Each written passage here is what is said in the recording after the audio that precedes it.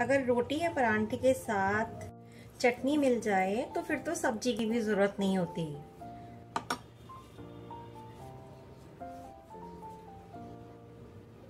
Hello everyone welcome to divine delicious आप लोगों की स्पेशल डिमांड पर आज मैं बना रही हूँ गार्लिक चटनी।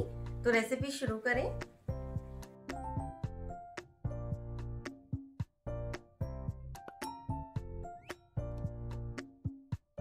गार्लिक चटनी बनाने के लिए लिए हैं मैंने 12-13 साबुत लाल मिर्ची, जिसे मैंने करीब दो तीन घंटे पहले पानी में भिगो दिया था। सोप करने से ये इजीली पिस जाती है। अब इसको मैं मिर्चियों को जो है वो अलग निकाल लूँगी प्लेट के अंदर। पानी जो है वो हमें इसको फेंकना नहीं है, बाद में हम इसको काम में ले लेंगे। तो मिर्चियाँ जो है वो अच्छे से नरम हो गई है। साथ में मैंने लिया है एक कप छिले हुए लहसन। तो लहसन लेते समय ध्यान रखें कि जो कलियाँ आप ले रहे हैं, लहसन की जो गांठ है, उसमें कलियाँ बड़ी बड़ी हो तो इसे छीलने में आपको इजी रहे। तो अब सबसे पहले हम इनको रोस्ट करेंगे। तो मैंने एक ले लिया है पैन इसके अंदर मैं डाल रही हूँ वन टेबल स्पून के करीब ऑयल तो मैंने इसके अंदर डाल दिया है एक कप के करीब लहसन, जिसे हमें धीरे धीरे रोस्ट करना है। साथ में मैं डाल रही हूँ ये लाल मिर्ची। एक अदरक का टुकड़ा। एक चम्मच साबुत जीरा। एक बड़ा चम्मच वन टेबल स्पून साबुत धनिया। और वन टीस्पून साबुत काली मिर्च। अब इसको लगातार चलाते हुए हमें दो से तीन मिनट रोस्ट करना है। रोस्ट करने से जो है, कोई भी चीज़ लंबे समय तक चलती है और मुझे वैसे भी कोई भी चीज़ मसाले जो है, कोई भी डिश बनाने से पहले उन्हें रोस्ट करना पसंद है तो इससे फ्लेवर भी अच्छा आता है और चीज़ भी बहुत जल्दी ख़राब नहीं होती। आप चाहें तो वैसे भी आप बना सकते हैं गार्लिक चटनी, बट इस तरह से बनाएँगे तो लंबे समय तक आपकी चटनी जो है ख़राब नहीं होगी। बस दो से तीन मिनट तक इसको इसी तरह चलाते हुए रोस्ट करें।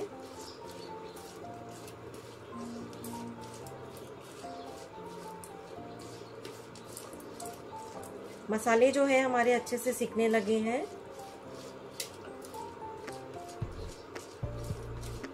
और गार्लिक की भी खुशबू जो है वो मुझे आ रही है। मिक्सचर जो है अच्छे से रोस्ट हो गया है। दो से तीन मिनट लगातार चलाते हुए मैंने इसको रोस्ट किया है। अब मैं इसकी फ्लेम को ऑफ़ कर दूँगी और अब हम इसे ठंडा करने के बाद मिक्सर में पीसेंगे। तो अच्छे से ठंडा होने देते हैं इसको।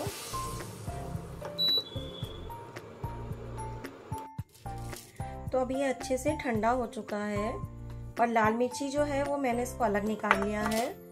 अब ये गार्लिक जो है वो इसके अंदर हम ट्रांसफ़र कर देंगे जार के अंदर। और इसको अच्छे से ग्राइंड करना है। पर एक बार मैं थोड़ा सा दरदरा करके इसको गार्लिक थोड़े से पीसीज में इसके बाहर निकाल लूँगी। अब मैंने इसको थोड़ा सा दरदरा पीस लिया है और एक दो चम्मच के करीब मैं इस प्लेट के अंदर निकाल रही हूँ। अब मैं इसके अंदर ऐड कर रही हूँ ये लाल मिर्ची। साथ में थोड़ा सा पानी जो जिसमें हमने इसको भिगोया था। और अब एक बार इसको मिक्सी में अच्छे से बारीक पेस्ट बना लेंगे। वापस मैंने वही पैन ले लिया है। इसमें मैं डाल रही हूँ एक टेबल स्पून के करीब ऑयल।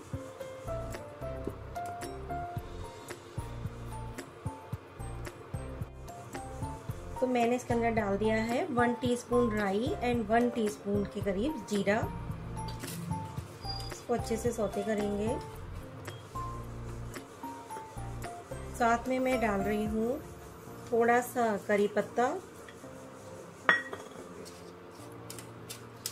इसको लगातार चलाएँगे।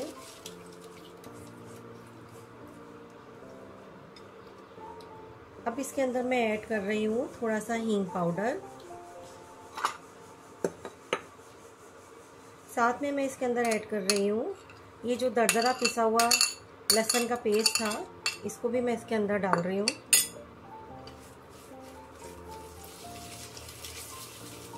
इसको एक दो मिनट हम चला लेंगे।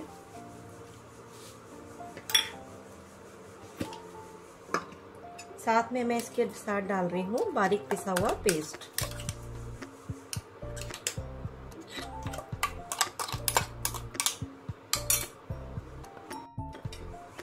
अब इसको हम अच्छे से मिला लेंगे।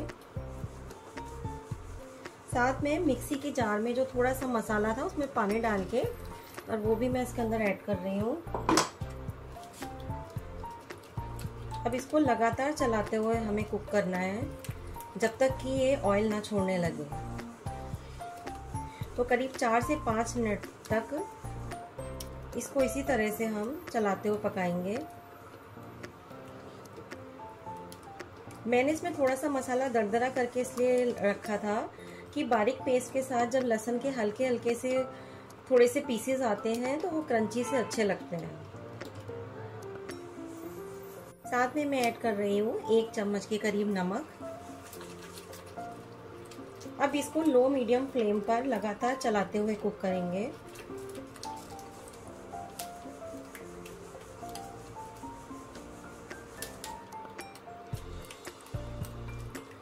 करीब 10 मिनट इसको लगातार स्टर करते हुए मुझे हो गए हैं और ये अच्छे से कुक हो गया है। इसको लगातार चलाना इसलिए ज़रूरी है जिससे ये जो नीचे पैन में चिपके ना, क्योंकि जैसे जैसे इसका पानी रिड्यूस होता जाता है और ऑयल ऊपर आता जाता है तो ये पैन में नीचे चिपक भी सकता है। तो हल्दी पाउडर मैंने पहले नहीं डाला था, अब मैं इसके अंदर हाफ़ चम्मच हल्दी पाउडर डाल रही हूँ। आप इसको पहले भी ऐड कर सकते हैं। लेकिन ये काफ़ी देर तक मैंने इसको रोस्ट किया है तो मैं इसको बाद में ही डालती हूँ।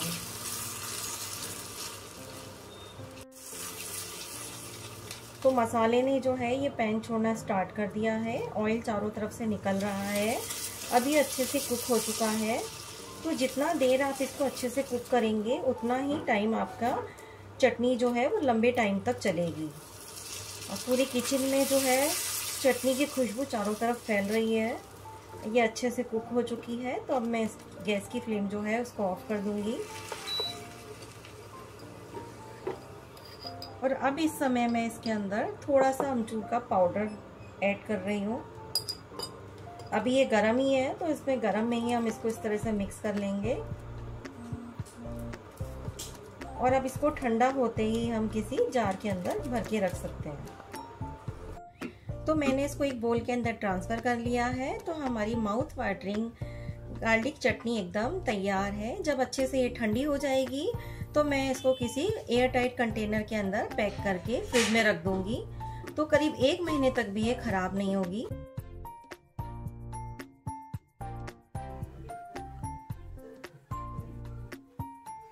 डिवाइन डिलीशियस में आप सभी का बहुत बहुत स्वागत है।